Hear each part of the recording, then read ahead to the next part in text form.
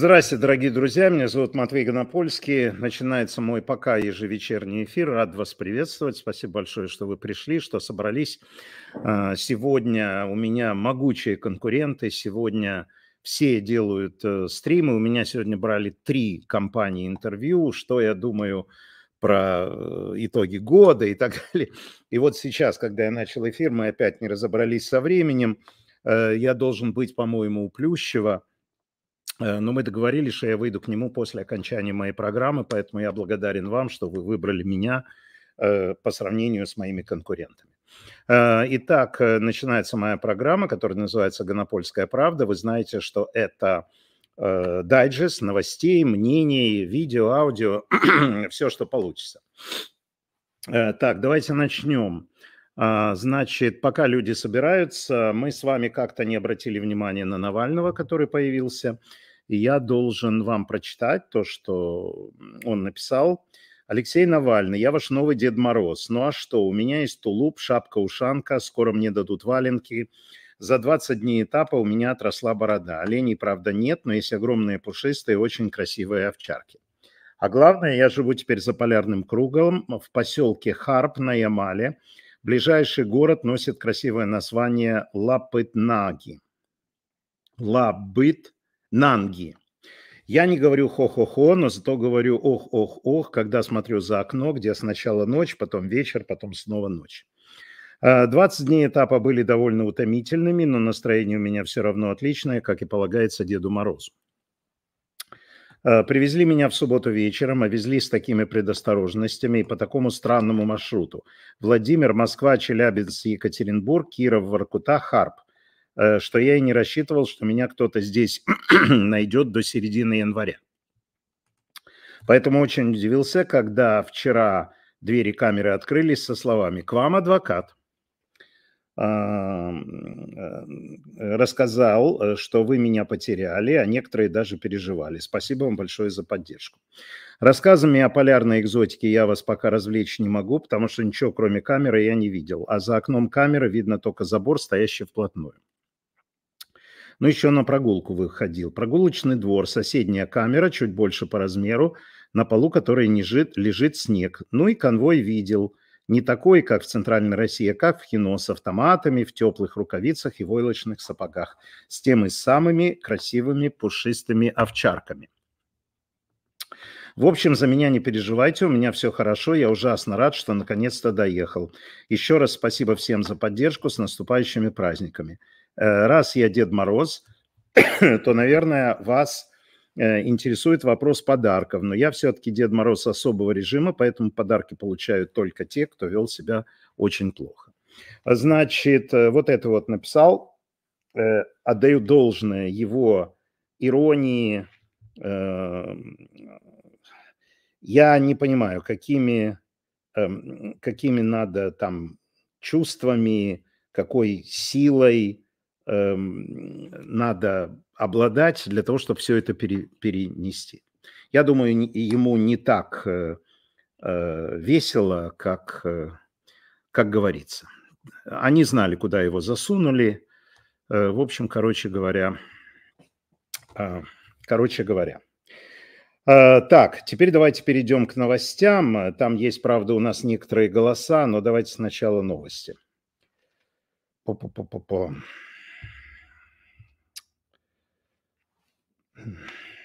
Сейчас. Украина получит от европейского сообщества 50 миллиардов даже без, без поддержки Венгрии, говорит представитель МИДа Германии Кристиан Вагнер. Ну, вы знаете, что Орбан тормозит, э, они находят, э, так сказать, эм, компромиссные ходы Европа. Они поняли, что надо поддерживать. А, поняли, что надо что-то делать с Орбаном, и пока они разрабатывают, чего-то там меняют в законодательстве европейском, э, они делают хитрость, я сегодня узнал. Кстати, узнал я, он сегодня у меня, сейчас, одну секунду, Александр Краев, мы сегодня э, посмотрим очередную часть с ним, э, аналитик, украинская призма Совета внешней политики, очень глубокий, интересный человек. Надеюсь, э, вы получаете хорошую дозу информации от него. Они, знаете, что нашли? Они одалживают отдельно у разных стран. Они бросили клич, давайте сбросимся в Украине. Но там не получится 50 миллиардов, там получится где-то 20. Но 20 хотя бы для макроэкономической э, ситуации, если можно так сказать, потому что э, заканчиваются деньги для бюджетников и так далее. Понятно, да? Налогов не хватает. Э, в общем, сложная ситуация, сложная. Вы знаете, я сейчас прочитаю стих. Он, естественно, не финальный, но его написал Вадим Жук. Э, вы знаете, я вам читаю либо Иртенева, либо Жука, либо, э, либо Кисичева. Ну, некоторые поэты, как вы знаете, у нас выступают в прямом эфире и будут выступать. И я буду это дело расширять, потому что вам интересно. А, значит, э, вот знаете, настоящая поэзия, как говорится, как сказал Быков, я цитирую часто его фразу – Э, поэт пишет рифмы, а рождает смыслы. Вот э, он написал, э, Вадим Жук, короткий стих 28-го сегодня. Такой стих про то, где мы с вами находимся. Все. Все, где мы находимся. Ну, вообще-то в заднице, это понятно. Но как поэтично как у Плющева, а у Венедиктова. Ребята, я не, не знаю, кто там ведет другие эфиры. Давайте займемся тем, что я для вас приготовил. И вот понимаете, вот сейчас же на улице зима, и вот он описывает нас в этой зиме. Послушайте, это потрясающе. Как будто мы с тобой внутри сугроба, а он еще снегами окружен. Мы от всего отделены, мы оба и греет нас тройной одеколон.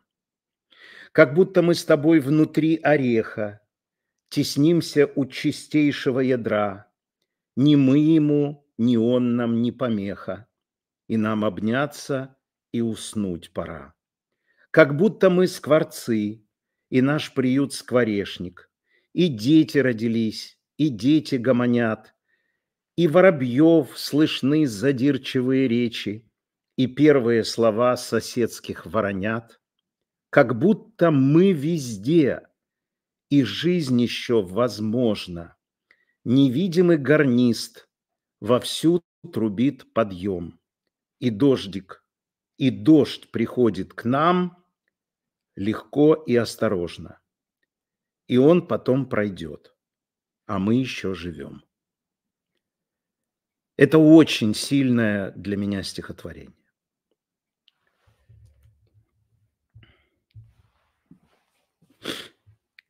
Как иначе? Нам остается только с вами надеяться. Ну вот Навального нашли, и слава богу. Тоже радость, понимаете? Ну а чего? Нашли, могли не найти. Мог покончить жизнь самоубийством. Нашли. Веселый. Правда, эта веселость какой ценой ему дается. Ну, сегодня все разговаривают про вот эту новость. Владимир Путин во время визита главы КНР Си Цзипина в марте 23-го рассказал китайскому лидеру, что Россия будет воевать с Украиной как минимум пять лет. А, пишет японская газета Никей со ссылкой на источники.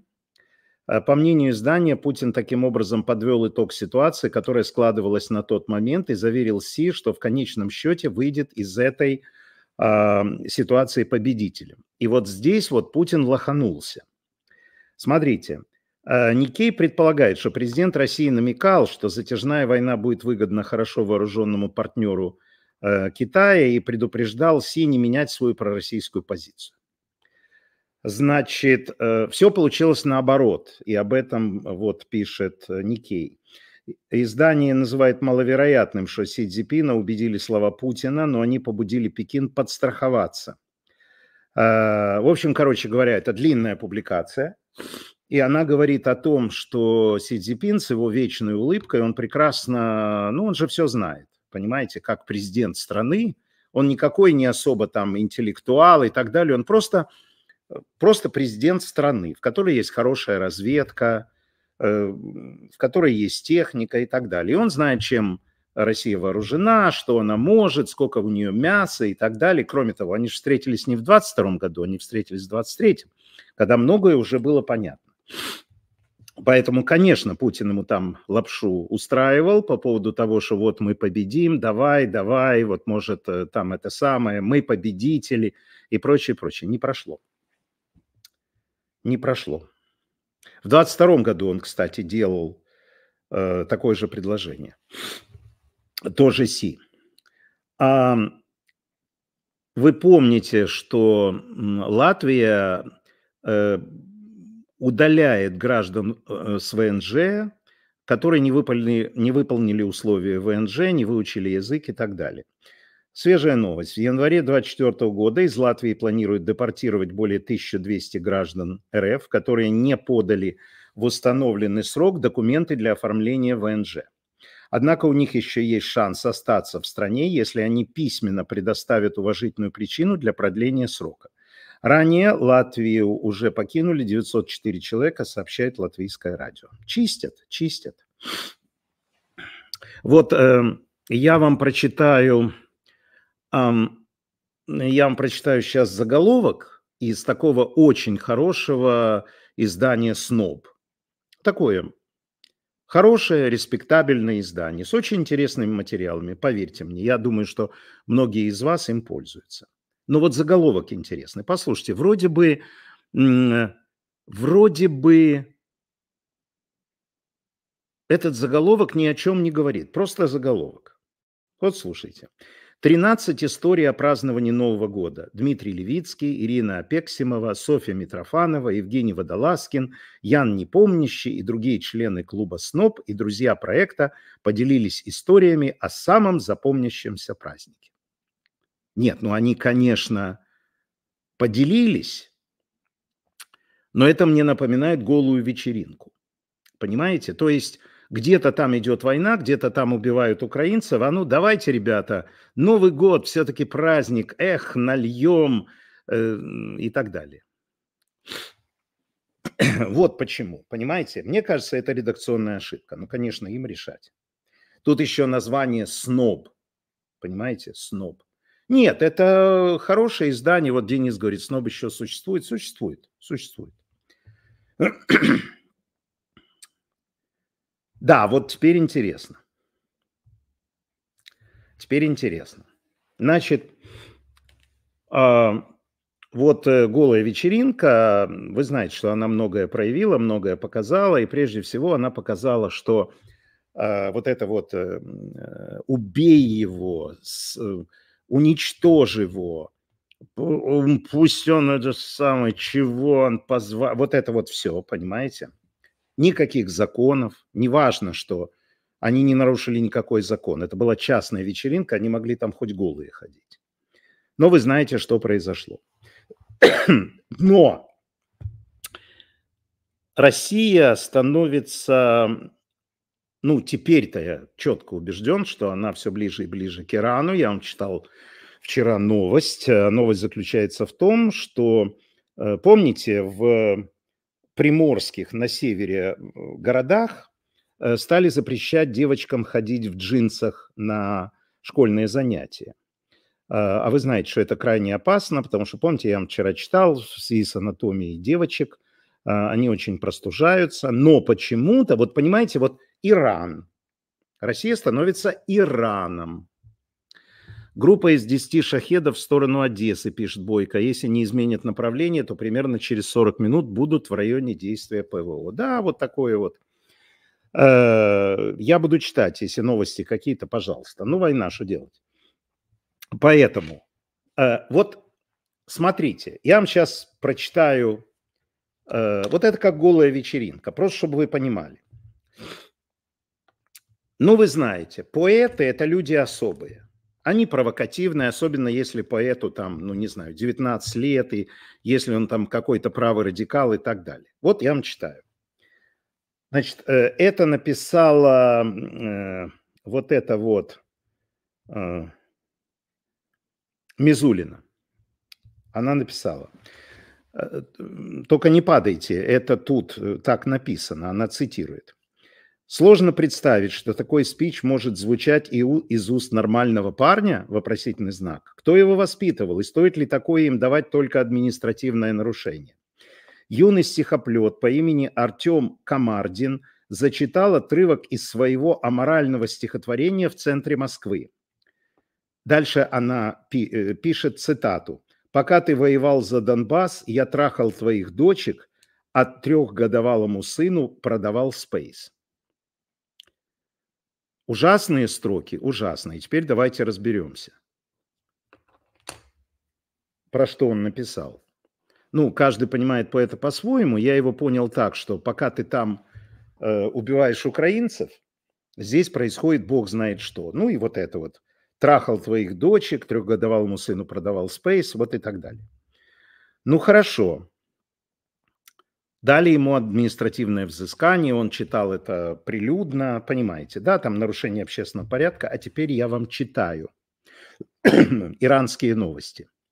Поэты Егор Штовбе и Артем Камардин приговорены к пяти с половиной и семи годам колонии за чтение стихов о мобилизации.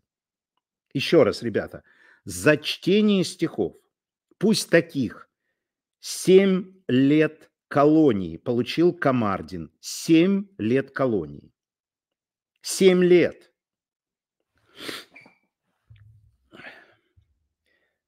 Как написал один человек в комментариях, наряжая праздничный автомат, мы готовимся встретить грядущий новый 37-й. Ни в чем не уверен. К тому идет. Но вы понимаете, что это, это но это действительно можно с ума сойти. Вот он прочитал эти строки, которые на самом деле про другое, но Мизулина написала, что это э, компрометация вооруженных сил, и чувак получил 7 лет колонии. 7 лет колонии. Теперь про автора доносов. Мизулина, тварь. Мизулина за все время своей деятельности написала жалобы как минимум на 166 человек и 4 музыкальные группы. На кого-то она доносила напрямую в силовые структуры, на кого-то просила обратить внимание в своих публикациях в соцсетях. Результаты доносов Мизулиной стало то, что как минимум 49 человек выполнили ее требования, еще 7 человек извинились и пообещали отцензурировать свои творчества, в частности, певица Алена Швец – инстасамка, Хофманита, а также репер Скали Милану. Последние трое даже ех, приехали к Мизулиной на рабочую встречу и сфотографировались с ней. Не менее пяти исполнителей после доносов столкнулись с отменой концертов. Это группы Би-2, Сансара, рэпити, э, рэперы Big Baby Tape и Loqiemean, Локви Мэн, наверное, а также блогер Анна Енина. А, после жалоб Мизулина а, на, как минимум на 14 человек завели административные дела. А, одной из первых жертв стал рэпер Моргенштерн, которому пришлось заплатить 100 тысяч рублей по статье о пропаганде наркотиков. Журналиста Юрия Дудя после жалоб Мизулина оштрафовали на 220 тысяч рублей за пропаганду наркотиков и ЛГБТ.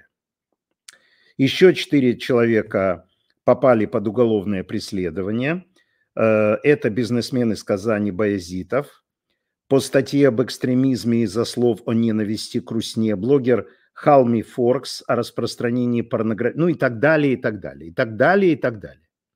И вот сейчас по ее наводке э, за стих ребята получают э, пять с половиной и семь лет. Это сильно. Это сильно, ребята. Это сильно. Идем дальше. Э, конечно же, люди рефлексируют. Э, Айна Файнгерш пишет, кто такая Мизулина, без понятия. Ничего, я не знаю, где вы живете, познакомитесь.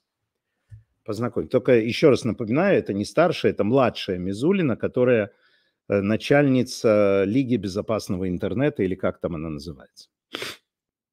А, то, что вы э, не знаете, кто такая Мизулина, Анна, это означает, что не, это не ваше достоинство, а это просто до вас руки Мизулина еще не, не дошли. Вот.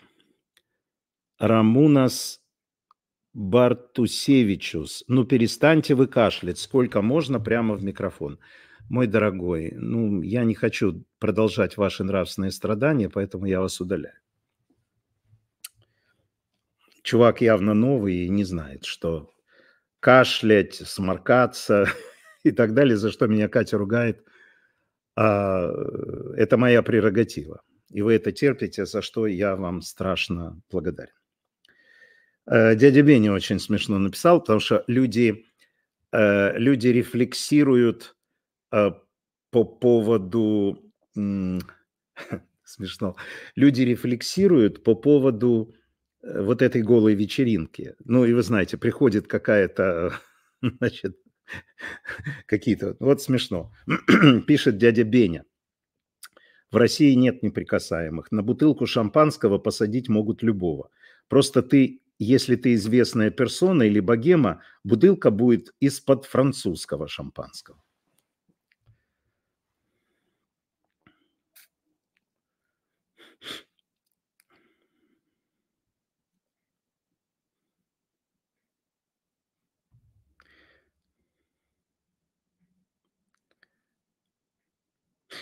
Потрясающая фраза. Э, простите, там одно слово будет полуцензурное. Мне кажется, пишет автор, если Путин насрет в рот каждому россиянину и скажет, что это варенье, они еще долго будут спорить, это вишневое варенье или малиновое. это здорово написано.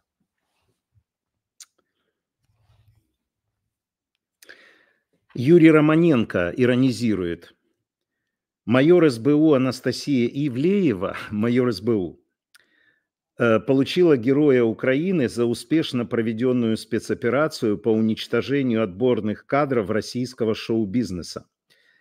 Э, Настя, спасибо за службу. Ну да, можно и так.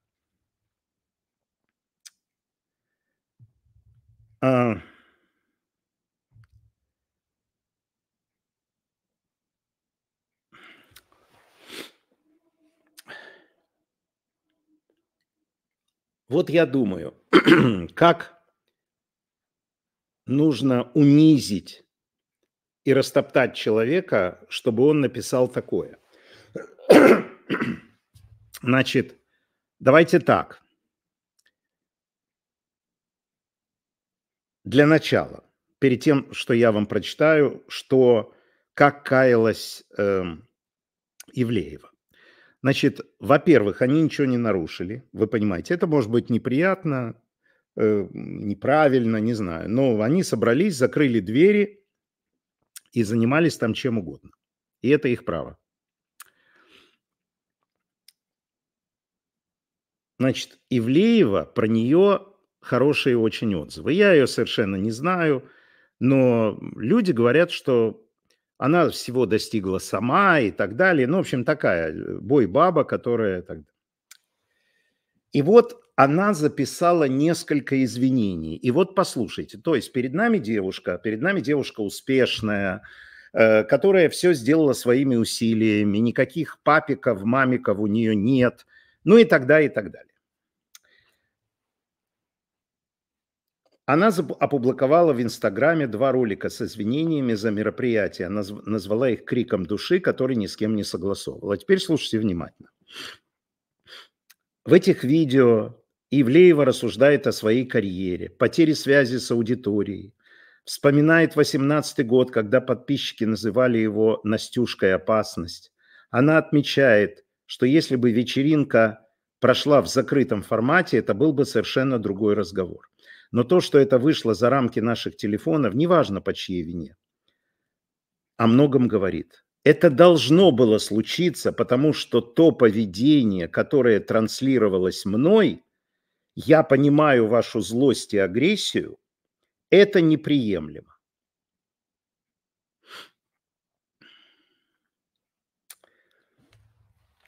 Телеведущая также добавила, что в глазах аудитории связь с которой последние годы она истончалась, связь, она выглядит человеком, слетевшим с катушек, который потерял связь с реальностью. Тем не менее, прошедшее дало ей понять, насколько она оказалась оторвана от реальности в погоде, в погоне за достижениями. Слушайте, я не могу больше это читать. Вот именно это. Во-первых, она врет.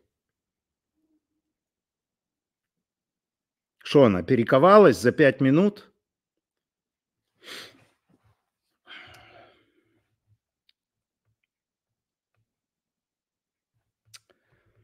Вот еще, значит, эм, региональный Минюст, просто запомните это. Эм, Министерство юстиции эм, Российской Федерации, Минюст России, Главное управление Министерства юстиции Российской Федерации по Ставропольскому краю. Значит, вот их ответ. Они подтверждают запрет радужного флага в Российской Федерации – и добавили, что даже просто заявлять о принадлежности к ЛГБТ – это экстремизм. То есть, другими словами, а, Красовского, который э, совершил каминг его можно было совершенно спокойно убрать э, по статье. Ну и сейчас, э, вот, например, какое-то интервью, они его спросят, вы, из, вы ЛГБТ? Он же не скажет, я ЛГБТ только путинская потому что они там все пидоры. Ну, не в том дело. Он скажет, да, я из ЛГБТ. Вот, пожалуйста, это сразу экстремизм. Понимаете? Заявлять о принадлежности, тут же хитрость. Вот если ты говоришь, я ЛГБТшник, то, то якобы ты поддерживаешь вот это, помните, Международное общество ЛГБТ, которое запретили, которого не существует. Значит, ты должен сказать, я гей, но не состою ни в каких международных организациях.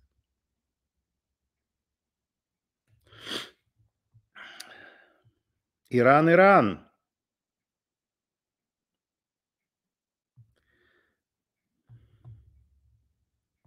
Ну, теперь э, разные новости. Медведев, наконец-то. Да, Артур Панфилов абсолютно правильно пишет запретить ношение одного носка. Да.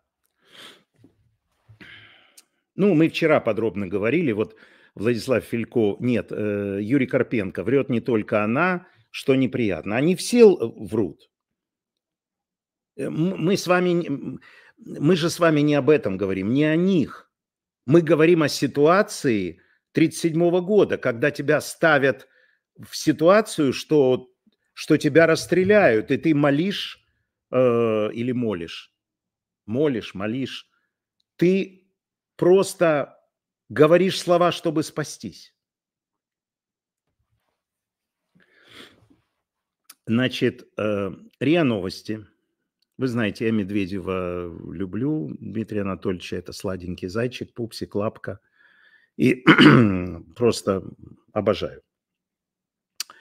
Значит, э, РИА Новости опросила правильных политиков о том, что они э, считают, как будет 2024 год. Вот что он ответил. Послушайте. Прогноз Дмитрия Медведева на 2024 год. А, спецоп... Первое. Спецоперация продолжится. Ее целью останется разоружение украинских войск и отказ, ныне... отказ нынешнего украинского государства – от идеологии неонацизма. Дебил. Второе. Смещение правящего бандеровского режима явно не декларируемая, но важнейшая и неизбежная цель, которая должна быть и будет достигнута. Дебил. И третье, самое прекрасное. Э, Татьяна Иванова, а Миронов, Миронов тоже лапка, но он пока молчит. Третье. Самое сладкое. Одесса, Днепропетровск, Харьков, Николаев, Киев, русские города, как и многие другие временно оккупированные. Все они пока еще маркированы желто-голубым на бумажных картах и в электронных планшетах. Ада Маркс пишет по-украински «Знову напився, напився». просто отдельный товарищ. Ну, это так, знаете, у нас же должно быть э, светская хроника, у нас должна быть, правильно? Светская хроника. Она же должна быть. Я вам хочу показать тетку одну, посмотрите, пожалуйста. Ну, дай резкость, боже мой. Что он не дает резкость? Ну вот, видно тетку? Видно. Знаете, кто это красотка, что это такое? Одно из немного, из немногих фото первой леди России Светлана Кривоногих. Старт карьеры от уборщицы до негласной фаворитки альфа-самца. Охраняется и обслуживается за счет Пенсионного фонда России. Проживает в швейцарских Альпах. Есть 80-метровая яхта и собственный самолет. О чем это говорит? Ну, мы никогда не смеемся над фамилией, но это говорит, что фамилия не имеет значения.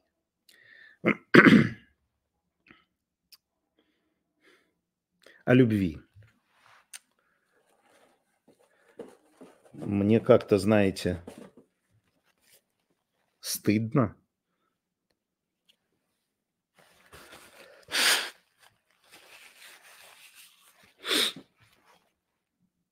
Не шокировал вас, ничего не делал. Судя по вот этой желтенькой штучке, что-то сегодня камера, конечно, плохо берет резкость, но неважно. А, эм, желтая выцветшая газета о любви. Вообще сегодня все о любви. Все о любви. Куда мы идем? А вот мы сюда идем. Вот то, что я вам сейчас прочитаю. Это ли не уродство? Статья э, человек прислал. Уважаемая редакция, есть ли у человека совесть и когда у него бывает стыд? Дело вот в чем. Как-то я вышел посидеть в скверике, что напротив гостиницы «Астория», и моим глазам представилась следующая картина. Идет прилично одетый мужчина в шляпе лет 25, а рядом с ним девушка, совсем молоденькая. И вдруг я вижу, как этот мужчина обнял девушку рукой за плечи, и они спокойно на виду у множества людей продолжают свой путь и беседу. Это ли не бесстыдство? Это ли не распущенность? Это ли не уродство? С трудом верится, что подобные явления наблюдаешь в нашей социалистической стране. На мой взгляд, на мой взгляд, если мы не начнем строже и требовательней относиться к молодежи, то очень легко может статься, что в скором времени некоторые юноши и девушки начнут совершать на улицах еще более аморальные поступки. Воспитывать надо не только пряником, надо почаще пользоваться публичным осмеянием, широким показом всех моральных уродов, фотовитринах и так далее. Это наверняка принесет свои плоды. Н. Смирнов. Смирнов вообще не понимает, насколько он прав.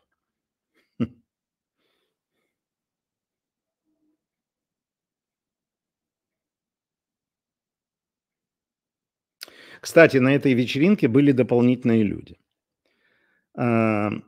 Опубликованы фото некоторых участников Almost Naked вечеринки в Мутаборе, на которые не обратили внимания. И сейчас вы поймете, почему. Игорь Мишин, лауреат премии правительства Российской Федерации, вице-президент МТС. МТС был спонсором мероприятия. Ксения Челенгарова в черном платье – дочь депутата Госдумы и доктора географических наук Артура Челенгарова. Ольга Карпуть в белом прозрачном платье, жена Павла Т., совладельца Capital Group, любимого застройщика Сергея Собянина. Как слышите, они ни перед кем не извинялись, ничего такого не делали. И прекрасно себя чувствуют. Заметьте, их фамилии вообще не упоминаются. Потому что вот она настоящая элита. Может, они там еще трахаются в, этой, в этом клубе, в закрытом, зайдя в него с черного хода. Вот так устроена Российская Федерация. То есть вот эти люди, которые теперь каются, они думали, что они элита под первой элитой. Путин, Патрушев, все вот это. А оказалось, что они первые с конца. Потому что с ними вместе были эти люди, и про этих людей даже не вспоминают. Понимаете, как интересно? А эти павианы, распустив хвосты, думали, что они что-то значат в этой жизни. Им объяснили. Ну, говорят, что Путин увидел, Путин и так далее. Да плевать, увидел Путин, не увидел Путин.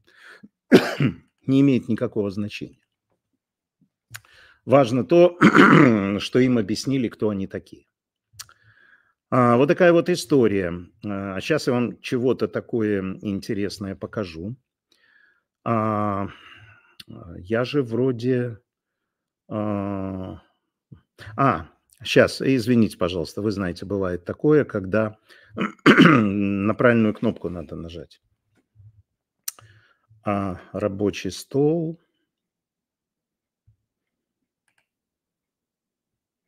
Сейчас. Простите, пожалуйста.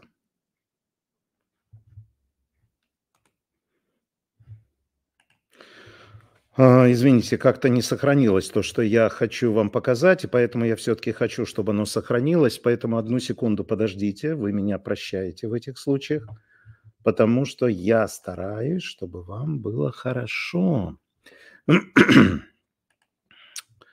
Вот эта история. Вот мы ее открываем. И, и мы ее скачиваем. Одну секундочку. Простите, дорогие друзья. Ну, и на старуху бывает проруха. Э, на, на старуху. На старика. Все сделал, теперь все сработает. Итак, вы помните, что э, мы э, две недели назад, поэтому некоторые события еще тогда были не произошли. Э, мы разговариваем с э, замечательным аналитиком, которого зовут Александр Краев. Кстати, сегодня он был у меня в эфире. Мы разговариваем на самые разные темы. Это своеобразная, своеобразные итоги года. Сейчас мы слушаем третью, предпоследнюю часть. Последняя часть будет завтра. Поэтому я рекомендую вам Э, подписываться, становиться моими патронами, подписывайтесь в Патреоне для того, чтобы слышать это, а, вовремя, и, б, в нормальном виде, без продолжения, а просто услышать наше живое общение. Э, значит, говорим на разные темы, и итожим, э, итожим год, и после этого продолжим и сделаем некоторое заключение наше сегодняшнее. Слушаем. Скажите, Э, Путин э, все-таки мечтает э, зацепить Запад, НАТО реально и, так сказать, ну, на миру и смерть красна. Он мечтает о войне с НАТО? У меня, если честно, на это взгляд немножко э, с точки зрения теории игр. То есть мне почему-то вот эта политика российская с ядерным оружием, с попыткой обстрела в территории НАТО очень и очень напоминает сценарий Карибского кризиса. В том плане, что, э, к несчастью, Путин не окончательный идиот, и его окружение тоже не окончательные дураки. Ну, если бы они были такими, нам бы было намного проще, очевидно. Но э, штука в чем? Они понимают, что обычными конвенционными вооруженными силами достичь абсолютной победы они не смогут. То есть если они даже Украину не смогли за этот период победить, что уже говорить про страны НАТО. Но ядерное оружие, использованное в нужный момент как переговорный элемент, может позволить им достичь хотя бы промежуточной победы. Речь о чем? Как только э, НАТО, как союз, отреагирует на российские провокации и отреагирует, скажем, статьей номер 5, первой ее частью, которая говорит о консультациях, то есть начнется мобилизация сил, ресурсов и так далее, Россия, которая часто говорила, что любая угроза со стороны НАТО будет иметь ядерный ответ, переводит все это на рельсы холодной войны фактически поднимая полностью свой ядерный потенциал, и тогда переговоры идут в том ключе, который нужно россиянам. То есть, джентльмены, до запуска ракет полтора часа. Давайте договариваться. Без Украины, без никого, вот договариваемся мы. Или через полтора часа ядерная война. То есть, подводя итог, с моей точки зрения, Путин не столько хочет прямого противостояния с НАТО, сколько он хочет вот такого формата переговоров, что давайте Москва и Вашингтон сядут и договорятся. Э, по-українськи. Добрий вечір. Що буде з Орбаном і членством Угорщини в Європі? Ой, Орбан это очень интересный персонаж. На самом деле мы увидели то, кстати, о чем мы с вами, Матвей, говорили уже несколько раз на, на других наших эфирах, что популизм можно победить реальностью и экономикой. И с чем столкнулся Орбан? Человек, который говорил, что Европейский Союз это там чуть ли не концлагерь, что Европейский Союз это то же самое, что советская оккупация, неожиданно говорит, а вот мы не хотим страну, которую мы не любим, пускать в эту европейскую оккупацию. И как-то нарратив его в этот момент посыпался, и на самом деле никто уже серьезно не воспринимал то, что он говорит. Со стороны денег мы увидели, что Европейский Союз э, открытием денежного шлюза его закрытием может полностью контролировать как нарратив, так и определенное принятие решений со стороны Венгрии. И поэтому, что будет с Орбаном? Он не, он не заинтересован выходить из Европейского Союза, что бы он ни говорил. Но его избиратель, который в основном живет не в больших городах, который живет в провинции, его избиратель живет на дотации Европейского Союза, на аграрной дотации, на дотации регионального развития, на трансграничное сотрудничество, на секторальные гранты. То есть избиратель Орбана живет на те деньги, которые Орбану дает ненавистный Брюссель. Захочет ли политик забирать деньги у своего электората? Конечно, нет, потому что его тогда просто не переизберут. Далее, в контексте принятия решений. Поведение Орбана вызвало возрождение дебатов в Европейском Союзе об изменении правил процедуры. То есть сейчас мы опять говорим о том предложении, которое Шольц сделал, если не ошибаюсь, это был июль прошлого года, о том, что ЕС должно в вопросах внешней политики и безопасности перейти на новый формат голосования. 65% стран, которые представляют 55% населения. Учитывая э, количество населения Венгрии, учитывая ее роль даже в своем регионе в Восточной Европе, мне кажется, европейцы смогут продавить новые правила голосования – и тогда будьте уверены, что в принципе шансов у Орбана после этого влиять на европейскую политику практически не будет. То есть, покуда не приняли вот эти новые правила процедуры, Орбана можно купить. Как показало последнее голосование, абсолютно спокойно. Орбан, как классический популист, он еще и немного коррупционер. Поэтому Орбана можно купить. А потом, когда изменятся правила процедуры, ну, мы тогда просто забудем об этом, как о страшном сне. Хотелось бы. Леопольд Доро спрашивает, могут ли к власти в Украине прийти радикалы, в кавычках он говорит, угу. или наоборот украинский Кадыров? Ну, я так понимаю, что он имеет в виду сильную руку, ну, какого-то там э, сталинообразное существо. Это очень интересный вопрос. На самом деле, на данном этапе дать на него ответ сложно.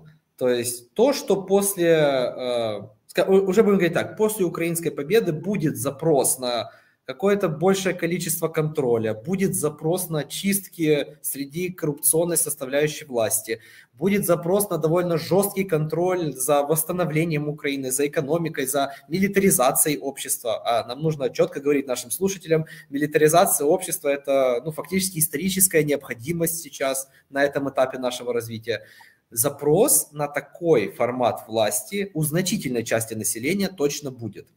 Но как это будет оформлено, на данном этапе я не готов ответить по одной простой причине.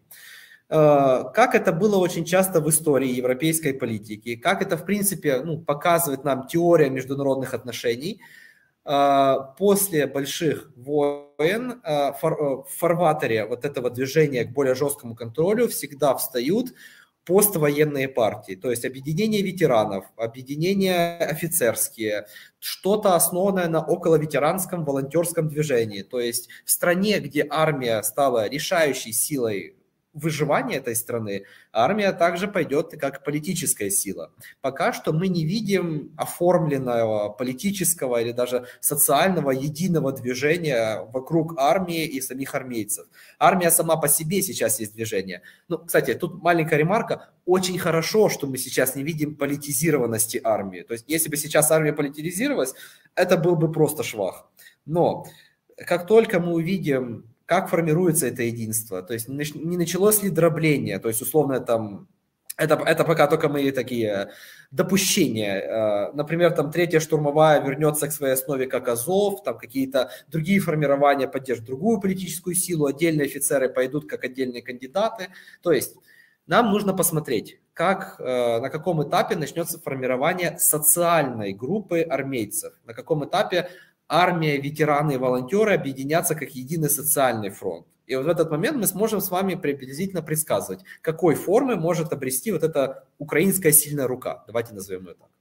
Э, на ваш взгляд, идет ли дискуссия среди политического истеблишмента о заключении мира Украина-Россия? Э, такая дискуссия точно идет, ну то есть все понимают, что любая война заканчивается мирными переговорами. Но я бы не сказал, что это заключение мира, это скорее заключение перемирия потому что заключение мира подразумевает под собой признание новой политической реальности. Заключение мира подразумевает под собой признание статуса Крыма, признание статуса временно оккупированных территорий, признание статуса и даже в языковой политике, приграничной политике, что угодно остальное. Поэтому на данном этапе э, мы видим, что россияне своих позиций не изменили. Вот Путин во время своей прямой линии до сих пор говорит о денацификации, демилитаризации, нейтральном статусе. Нейтральный статус э, для Украины – это точка, которую мы не обсуждаем. Мы не можем даже с точки зрения нашей Конституции, мы не можем это обсуждать. И поэтому эти переговоры, даже если они обсуждаются, они просто невозможны.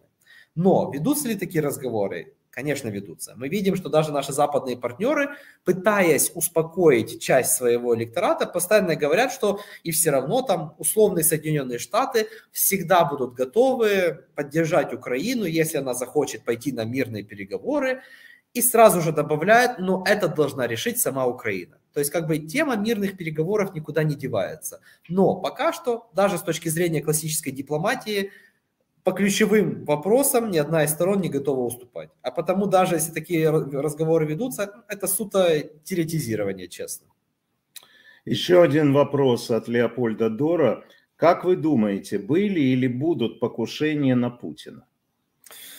А, мне кажется, а, они вполне себе могли иметь место, потому что скажем так, есть очень много людей в России, которых Путин все-таки на каких-то этапах не удовлетворял как лидер.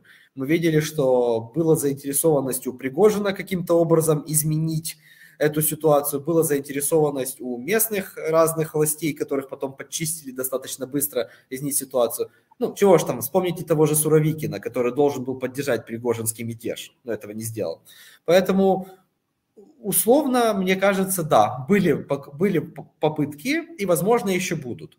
Мой взгляд такой, что единственная возможность успешного покушения на Путина – это, э, давайте назовем это сценарий операции «Валькирия». То есть единственная сила, которая сейчас может ему противостоять, это действительно офицерский корпус. Это действительно те, у кого есть сила. Те, кто сможет э, в случае силового противостояния с той же Росгвардией, потому что, давайте знать, Золотов – человек Путина. Золотов – это его цепная собака, им выращенная, э, Путиным выращенная, Путиным приведенная к власти. И вспомните даже, куда пошла вся техника от трансформированного Вагнера. Она не пошла на фронт, она пошла Золотову и Росгвардии. То есть явно Путин боится возможности такой. И, соответственно, единственный, кто смогут эту возможность воплотить, это офицерский корпус. Будут ли они это делать? На данном этапе сомневаюсь, но это станет возможно, как это, кстати, было и в реальной операции «Валькирия», в тот момент, когда вопрос станет следующим образом. А на кого повесят всех собак? То есть кто в конце концов будет крайним? Потому что все же ждут, что крайний будет Путин, когда придется уже разбирать последствия всего этого хаоса. Но Путин-то сделает крайними условного Шойгу, Путин сделает крайним условного Герасимова, Путин сделает крайним условных командующих на местах. И вот в этот момент вот это покушение, о котором вы спрашиваете, оно станет вполне себе реальным. Так, э, значит, смотрите, очень серьезное попадание в девятиэтажный дом в Одессе, верхние этажи горят. А, Надежда Гаврилюк, щойно в Одесі шахед влучив дев'ятиповерхівку. Блин.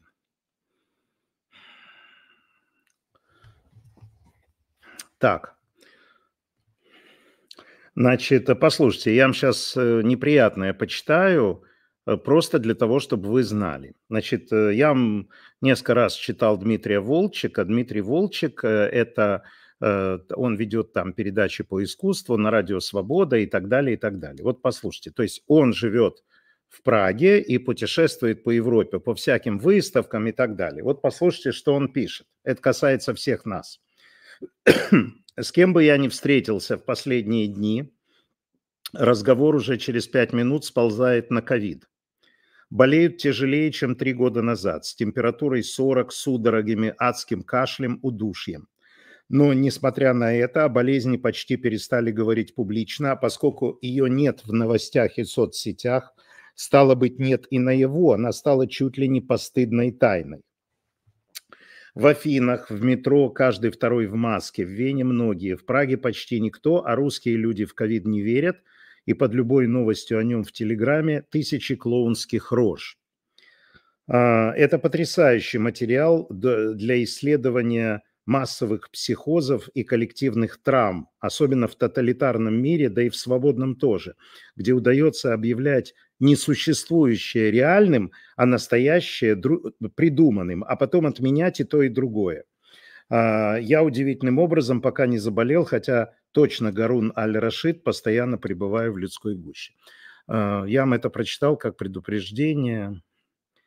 А, Киевская область, тревога, с Броваров, скорее всего, залет. Ну, эм, э, посмотрим, если будут, если будут э, объявить тревогу. Пока не объявляли. Э, умер один знаменитый человек, которого вы хорошо знаете. Ну, те, кто смотрят детективы и так далее, и так далее. Умер австрийский инженер и предприниматель Гастон Глок, создатель пистолета Глок. Э, ему было 94 года. Это одно из самых... Мария, минимум 15 шахедов летит на Киев. Ну, хорошо. Вот Петр Степанов говорит, давайте поставим лайк. Я не знаю, какие там лайки, но поставьте, пожалуйста, лайки. Вы знаете, для чего они мне нужны, чтобы надо мной мои коллеги не смеялись. Что тебя на шару смотрят. А, в компании отметили, что Глок не только произвел революцию в мире стрелкового оружия в 80-х годах, но и сумел утвердить бренд Глок в качестве мирового лидера в индустрии легкого огнестрельного оружия. Действительно, полиция пользуется и так далее. А, теперь хотел вам прочитать в виде текста, потому что видео это я вам не могу показать. Возможно, вы его видели. А, там есть э, ну, солдат э, русский в такой, ну, в маске в этой. А, он говорит, э, что происходит на фронте и в каком они состоянии. Поэтому я вам лучше текст прочитаю, потому что там мат-перемат, я не могу а, это давать в эфир. Он говорит, СВО полная лажа конкретная, нас нанимали, как хотели. Никаких 300 тысяч нам не выплатили, пришло там 30-40 тысяч от силы. Наши пацаны валяются и гниют, их даже не забирают. Сам лично своими глазами видел, как наши пацаны уже разлагаются. не знаю, родные узнают их или нет, если их привезут. Живем мы под землей, там холодно, сыро, все течет, замерзаем постоянно. Так что, пацаны, лучше оставайтесь все дома, отсиживайте свой срок, идите к женам, к детям, я не знаю. Но здесь нам не выжить. Ну и сегодня я видел потрясающее видео, конечно, боже мой, там стоит БТР и стоит танк, и они там ходят вокруг него, и туда попадает, и после этого лежат трупы, и все догорает. Ну, такой э, свет, светский, светская немножко, светская. Э, вот что значит хитрость. Александр Дюма, вы его, конечно же, знаете – Э, если Александру Дюма казалось, что билеты на спектакли по его пьесам плохо раскупаются, он пускал в ход свою изобретательность, зная, что ничто так не влечет человека, как обещание любовной встречи. Дюма взял за привычку публиковать в парижских газетах подобные объявления. Придет ли сегодня в театр господин, который смотрел на меня так пристально, что заставил покраснеть как-то вечером на представлении Нельской башни? Для него будет оставлена записка. Влюбленная. В итоге сотни парижан скупали билеты только ради того, чтобы убедиться, не им ли предназначалось послание, а Дюма тем временем подсчитывал свои барыши. Очень хорошая идея. а, ну вот 300 лайков добавьте, пожалуйста, до 2000 хотя бы, пишет Бойко. Где уж там 3? А, вот что интересно. В Финляндии при присуждении докторской ученой степени на некоторых факультетах вручают докторскую шпагу длиной 87 сантиметров, которую носят как мужчины, так и женщины. На шпаге выгравировано имя доктора, дата проведения церемонии. Э, меч доктора – это символ борьбы ученого, который в результате тщательных исследований пришел к истине. Еще один обязательный атрибут – докторская шляпа, которая символизирует свободу исследований. Вот я покажу черно-белую фотографию. Женщина э, Керту Саласти, первая женщина-министр образования Финляндии при получении ученой степени доктора медицины. Э, спасибо некоему, который бросил в меня три чашки кофе. Вот, посмотрите, она получает этот меч. Нравится мне. Вот мне это нравится. Мне вот такие вещи очень нравятся. Да.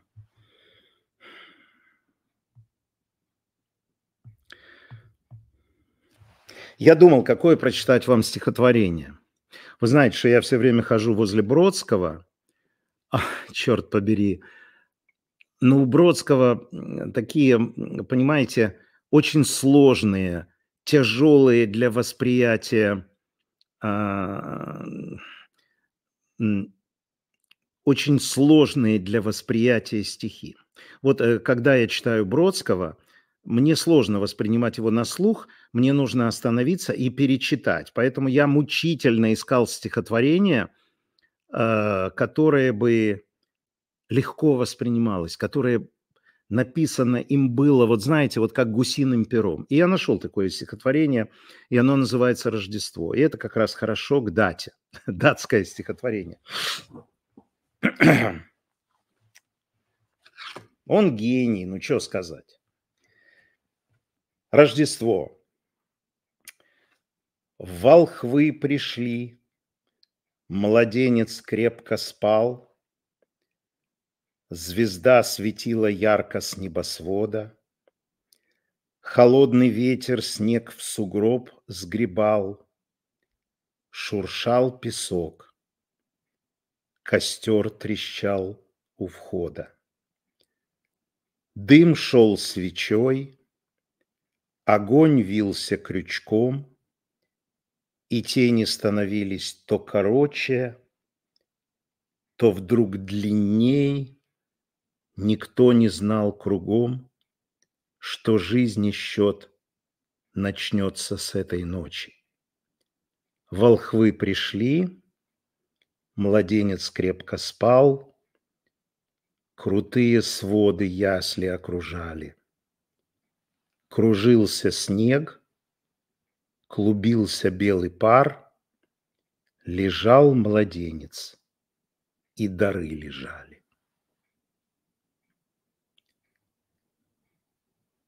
Охренеть. Как простыми словами, деталями создано великое стихотворение. Дорогие друзья, три четверостишия. Я медленно читал для того, чтобы вы увидели это. И вот эта фраза. Дым шел свечой, огонь вился крючком, и тени становились то короче, то вдруг длинней, никто не знал кругом, что жизнь и счет начнется с этой ночи. Безобразник он, Иосиф Бродский. Так, так нельзя с нами поступать. Вот представляете, просто сел человек, сел и написал. Сел и написал. Спасибо вам большое. А, я еще не знаю, что будет на Новый год. Сейчас э, э, там меня попросили куда-то перейти. у Галича, что у Галича есть стихотворение «Пейзаж». с интересной историей, очень актуальной. Дойдем, вы знаете, я каждый раз, э, без исключений почти. Э, он написал, кстати, это стихотворение, вот тут э, спрашивает э, Пушенко, какого числа года он это написал. Не знаю, он написал это в 63-м году. В 63-м. А, значит, смотрите, сейчас там меня попросили поучаствовать, я даже не понял у кого. А, сейчас я им позвоню, скажу, что я освободился. А, очень хочется вместе с вами встретить Новый год. Мы встретим Новый год вместе. Еще раз, ну, вы понимаете, Новый год, Катя уехала, э, мне надо оказаться в какой-то компании, но, может быть, я прямо оттуда, из этой компании проведу эфир. Я вас не оставлю, если вы меня не оставите. А вы меня как можете не оставить? Вы можете меня не оставить, э, поставив лайки, вот эти несчастные 300 лайков, которые там до 2000. Раньше вы и 3 делали, один раз даже 3 500 или 3 600 было, когда у вас было настроение. А, вторая история называется «Сделайте донаты, бросьте мне рубли, я вам буду признателен, поддержите канал». А, бросьте в меня чашку кофе и а, обязательно подписывайтесь, становитесь патронами, потому что кто его знает, может быть, один э, Леопольд Дора, мясо или рыбу на Новый год, не знаю, не, не знаю, не знаю. Не, но я обязательно, э, я обязательно буду с вами в Новый год. Я не знаю, может быть, после полуночи и так далее, я э, обязательно вам сообщу э, вот это вот дело.